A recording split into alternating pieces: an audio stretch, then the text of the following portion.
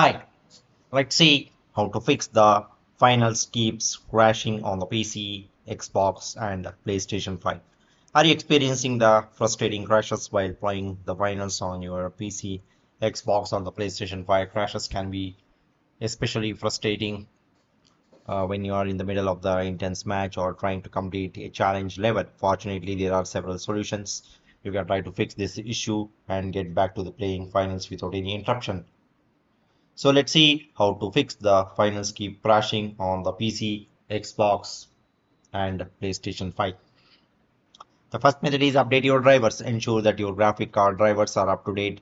Outdated drivers can cause the crashes while playing the finals. You can update the drivers by visiting the website of your graphic card manufacturers and downloading the latest drivers. The second method is lower graphic settings. If your graphic settings are too high, it can cause your system to crash. Try lowering your graphic settings to see if it resolves the issue. You can also do this in the game settings.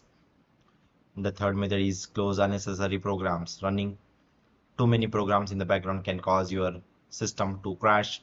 Close any unnecessary programs while playing the finals. The fourth method is verify the game files. Verifying the game files will ensure that all the game files are in order and not corrupted.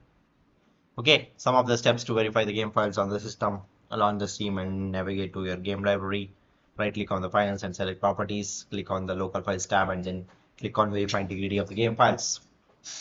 Wait for the process to complete and then try playing the files again.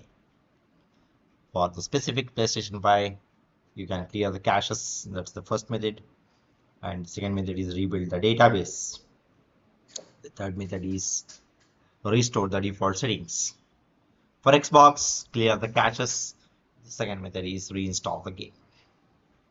Okay, so this is how we can fix the problem finals keeps crashing on the PC, Xbox and the PlayStation 5. Okay, so that's all about this. Thank you.